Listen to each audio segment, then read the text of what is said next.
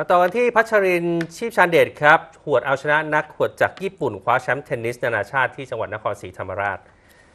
เทนนิสนานาชาติ ITF World Tennis Tour ประจำปี 2024 ครับ เทนนิสหญิง W35 รายการ ITF World Tennis Tour ชิงเงินรางวัลรวม 25,000 เหรียญสหรัฐครับ ที่สนามเทนนิส สนามกีฬา กลางตุมปัง มหาวิทยาลัยวลัยลักษณ์ จังหวัดนครศรีธรรมราช ในรอบชิงชนะเลิศประเภทหญิงเดี่ยวครับ อีฟพัชรินชีพชานเดชโชว์ฟอร์มร้อนแรงครับ เอาชนะทางเคียวโกโอคามุระมือ 2 ของรายการจากญี่ปุ่นไป 2 เซตรวด 6 ต่อ 2 และ 6 ต่อ 3 คว้าแชมป์ W35 รายการแรกให้กับตัวเอง และได้แชมป์หญิงเดี่ยวรายการที่ 6 บนเส้นทาง ITF อาชีพอีกด้วยนะครับ แล้วก็รับเงินรางวัลไปเนาะๆ130,000 บาทครับ ส่วนเทนนิสชาย M15